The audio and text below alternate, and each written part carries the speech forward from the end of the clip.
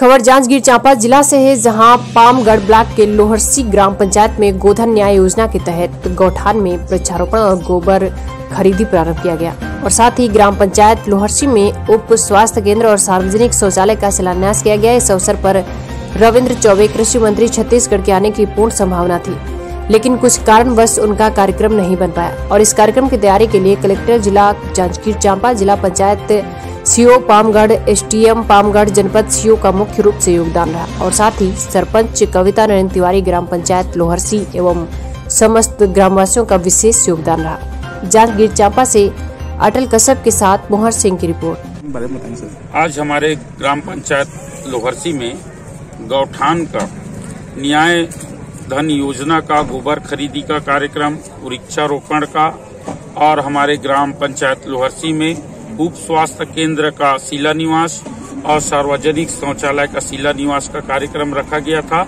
जिसमें हमारे माननीय कृषि मंत्री जी का आने का पूर्ण संभव था।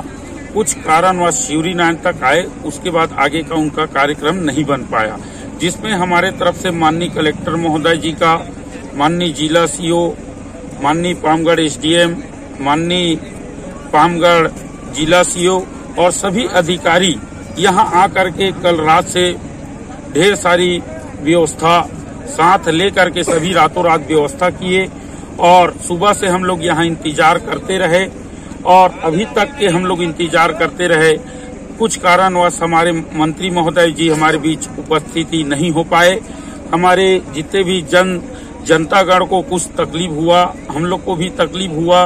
लेकिन हम समझते हैं कुछ कारणवश हमारे बीच नहीं पहुँच पाए।